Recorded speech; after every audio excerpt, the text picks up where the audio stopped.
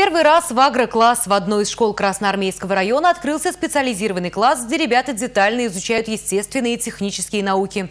В дальнейшем это поможет им определиться с будущей профессией.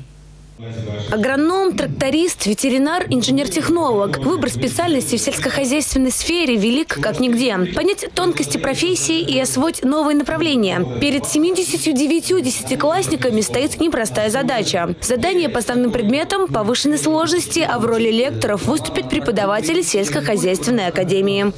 Я хочу что-то на химию, биологию, ну и математику тоже, чтобы успешно сдать экзамены и поступить. Я только ради математики, потому что обществознание здесь не преподают. Но чтобы математику хорошо сдать, я пришла. В сочетании теории и практики – ключ к успешному обучению. Школьников ждут экскурсии на предприятия АПК и фермерские хозяйства, мастер-классы и интерактивные занятия. Это будет полезно нашим детям в выборе именно в профессиональной ориентации